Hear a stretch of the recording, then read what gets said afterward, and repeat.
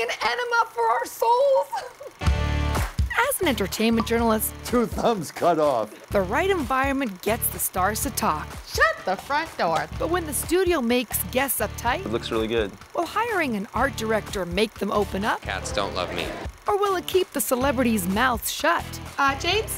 I'm Melissa DiMarco, I know. and my life is out there. Ah.